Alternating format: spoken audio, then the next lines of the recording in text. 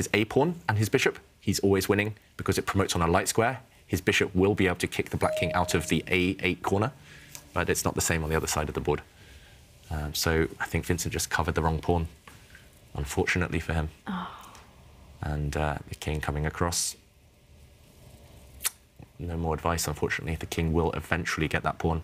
Also, knights are terrible at stopping rook's pawns uh, because they can only stop it from one side of the board. A pawn in the center, a knight can stop from the right, the left, it can stop from in front.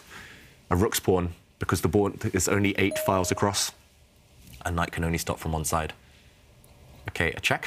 Magnus Yeah. gesturing there. That was a strange gesture. Was that like, well, that doesn't help. Yeah. Kind of gesture. And now, I think he's, reacts as is well. he going to resign?